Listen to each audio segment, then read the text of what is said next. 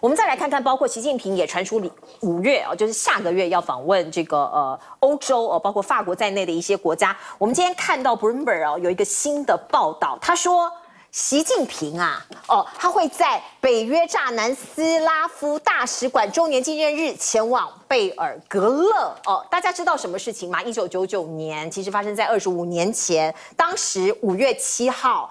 呃，中国大陆在南斯拉夫的大使馆是不是被炸了吗？还有一些中国记者死亡哦，这个对中国人来说是一个血海深仇哦，所以这个知情人士就爆了这个料，说习近平打算在五月七号这个纪念日当天访问塞尔维亚。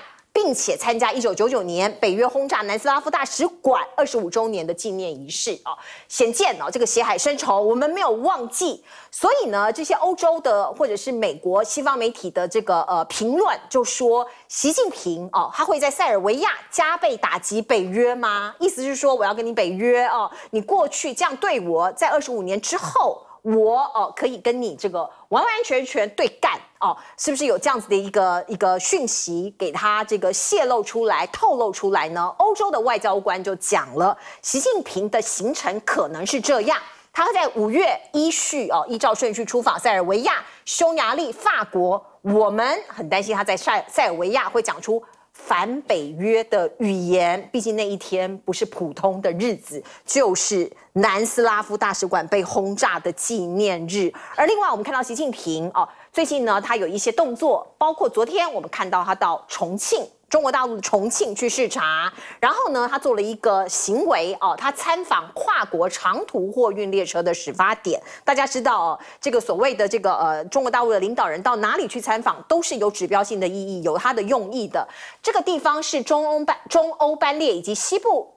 陆海新通道，还有铁海联运班列等等哦，这些跨国长途货运列车的始发站，也就是说，它是一个中枢的位置，非常的重要哦。所以呢，习近平到这边来考察，到这边来视察哦，是什么样的用意呢？哦，那我们也可以看到像这样子的中转站哦，这个是东协货运直通欧陆的节点哦，像是这样的节点的一个视察，就是要推动所谓的西部大开发哦，这样的一个时代。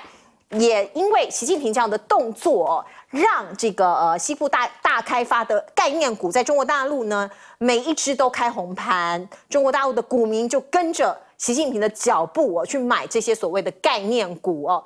比较去年我们可以看到呢，这个从今年开始，中欧班列中通道、二连浩特铁路口岸累计通行已经有一千零一列，比去年哦。更早提前了八天突破了千列大关哦，所以可以看到它包括这些货物的这个占比啊，集装箱的这些运送啊，都创下了历史新高。比起布林肯串联中欧、东南亚的一带一路。可能对习近平来讲更为重要哦。那我们也可以看到，包括呃太空思路，在现在中国大陆也在发展的。过去大家知道古时候有思路，现在叫做太空新思路，这是什么意思呢？中国大陆明天晚上会发射神舟十八号，那他们的太空工程办公室的副主任林希强就讲了，他们未来要推动的是。国外太空人哦，以及太空游客参与飞行，要搞这个所谓的太空观光啊，哦，这个太空的这个各种的商机，现在慢慢的一点一滴要建立起来了。我们看到林希强他说，他会加紧实践中国人登陆月球，并且研究推动国外太空人以及太空游客参与飞行，像这样的计划。不久的将来，他们要建构中国太空站啊，要迎来。更多不同身份的新成员，可能你给了钱，你就可以去太空旅游了哦。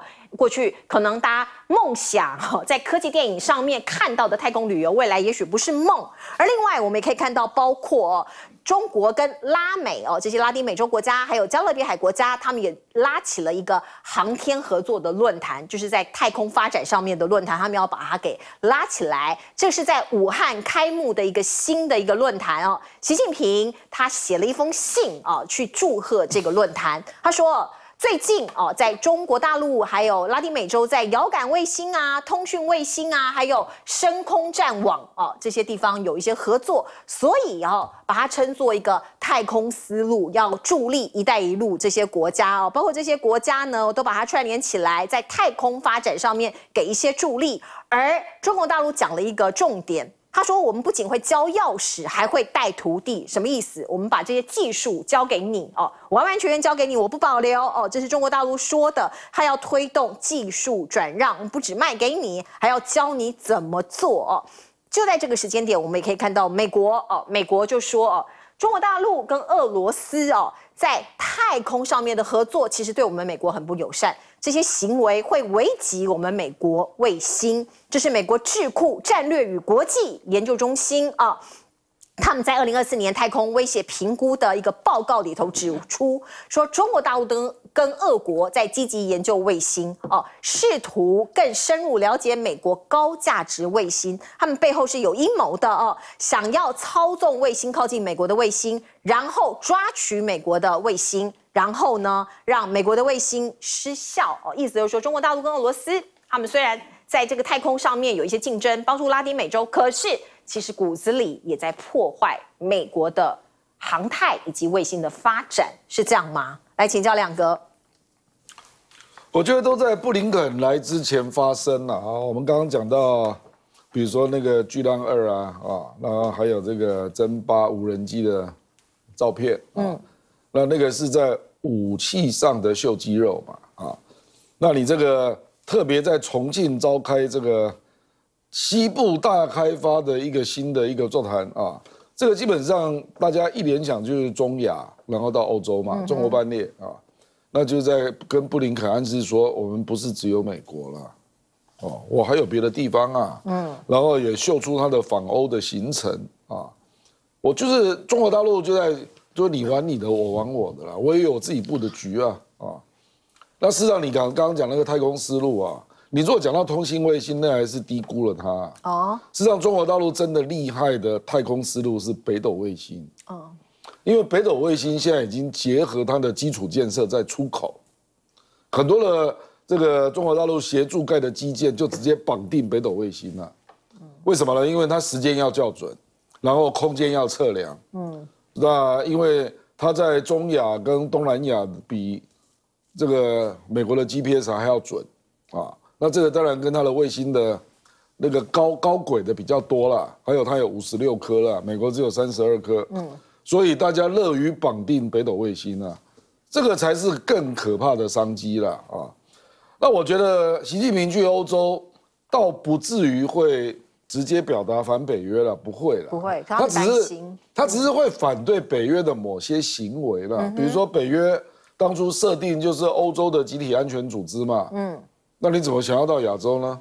啊，你知道我的意思？像日本啊，或者去打阿富汗啊，嗯，呃，就说你不断的在扩张啊，嗯，那你不是北约不就是北大西洋吗？公约，那怎么太平洋你也来了呢？捞过界了。对，我觉得这种话他大概就会讲，是啊，那。这个，因为他下一站就要去，这个匈牙利确实也比较亲俄罗斯了，可是他主要是要去法国啊。嗯哼，那法国事实上就是欧洲北约最重要的成员呐，所以我不认为他会让马克宏太尴尬了，不至于了。嗯，哦，而且他事实上是要鼓励马克宏。要勇敢一点了，走自己的路了，走自己的路，要更有独立自主的想法了啊！事实上，中国大陆目前的作为大概都是这样了。比如说肖兹来，他也要鼓励他，啊，说你要勇敢站起来啊！哦，中国愿意跟你经贸合作啊。那因为他德国毕竟是战败国嘛，在政治跟军事不好说大话，而法国可以啊，所以他我认为他会给。马克龙相当的面子嗯，而且今年是中法的文化旅游年，嗯，所以本来就有很多法国电影啊，还有跟中国合拍的一些影片都要在中国上映啊，所以我认为他会给马克宏红包啦，嗯，所以那个氛围还是蛮重要的，还是一个友善的氛围，对对对，所以他不会去批评整个北约，而是说北约应该要。回顾一下自己是什么成因诞生的嘛？嗯，你如果是保卫欧洲的安全，这个大家没有意见嘛？是。啊，可是你是不是捞过界了？嗯，跑到亚洲来了。就是你的初衷是什么？对对对，这这种话大概会讲了。而且他的大使馆被炸，他也不认为是欧洲人干的啦，就是美国干的啦。哦，就是这样。OK，好，北约的后头不就美国吗？来请教郝将军。这个南斯拉夫是中国大使馆。是为什么被炸呢？哎，F 幺幺的那个隐形飞机的残片呢，被送到被中共收到那边在研究，就是早期的逆中飞机的涂料。那美国当然不容许机密外泄，所以就用飞弹炸。事后说承认它是误射误炸，但是你去炸人家大使馆，就侵犯人家领土。这个时候二呃，任何一个国家对任何事情的纪念，五年、十年、二十年的周年，他会他选这个地方，就是说提醒你，美国是打人家的大打中国的大使馆，就侵犯中国的领土，就有点影射以色列去打伊伊朗的这个这个叙利亚的大使馆是一样的，是有这么一个含义。那借这个机会呢，你再看很多事情连在一起的啊。习近平去访问法国，除了跟德国这个。好像我们台湾这个选举挖庄脚是一样的啊，能够把你从这个北大西洋公约里面，因为最有钱的是德国，嗯，军备最完整的是法国，那是北约里面这个欧洲国家里面最强的两个。他拿什么东西？刚刚郑亮讲的红包，你看啊，欧洲班列是不是现在开始进去了？对，欧洲班列刚开始的时候啊，有时候去的东西很多，回来是空车，嗯，那现在现在他把这个重庆这个站呢。要发车是四公里长的长班列车，那载运量很多，三万多吨，而且它跟中南半岛连上。换句话说，从中南半岛到中国的南边，到中国的西南，到中国的西北，一直扩张到你欧洲，那这个货运量就够了。嗯，因为虽然铁路是比不上海运，但是价值高的商品还是可以透过这个，可以省十几天的航程呢，是到达欧洲。所以这个对于是路上“一带一路”跟欧洲做一个紧密结合，也是习近平外交的一个红包筹码。嗯哼。那么也证明了欧洲班列当年花那么多钱、那么辛苦看去打通是有价值的。嗯哼。那么也就是说，让美国在北大西洋国这些公约组织里面的欧盟国家，在经济上也受到中国的中国大陆的拉拢。嗯。所以这个东西是双双方角力的嘛，但角力不能凭空口说白话。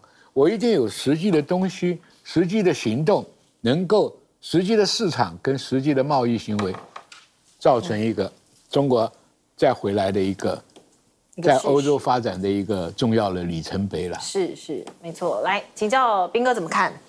我觉得这个欧洲外交官是杞人忧天，我根本不相信习近平会去那边。他去挑战北约干嘛？一点一点意义都没有。他这一行很明显就是去交朋友的嘛。嗯他去交朋友，那干嘛干嘛让这些国家跟他为敌？干嘛让北北约这些国家觉得难堪？完全没必要。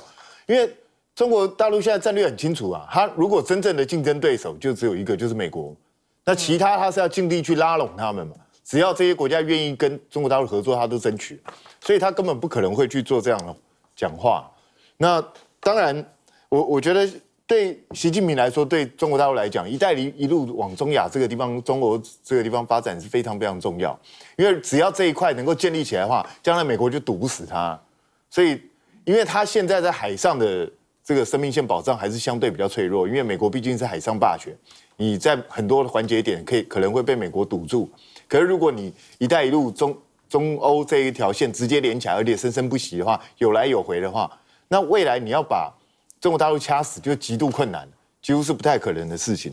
所以我觉得这是他们一定要想尽办法去做到。那看起来美国在这一块也很难阻止。那太空当然现在是兵家必争之地啊。那中国大陆它现在整个发展算是蛮循序渐进。其实我我一直觉得它算不照进，因为以美美苏当年的太空竞赛的时候，双方都是非常冒险的，所以失败率极高。嗯，那中国大陆就是花了几十年的时间稳扎稳打。他现在慢慢慢慢一步一步，你看他之前登他无人登陆月球已经好几年的时间了，可是他还是慢慢来不及。我慢，因为反正也已经有人美国已经登陆过几次月球，他也不急。我慢慢循序这样来，然后呢，他在争取这些拉拉美啊这些第三世界国家的大家一起来合作。表面上是提息啊，实际上就是形成另外一个集团。你想看，当世界上第三世界国家如果大部分都采用中国大陆的系统的时候，或者跟它技术相结合的时候，以后它就制成一个体系，未来这个体系就会不输给过去美俄所引导这些体系。我觉得这个对中国大陆来讲是一个要花未来要花几十年时间建立起来一个雄图霸业，现在才刚开始而已。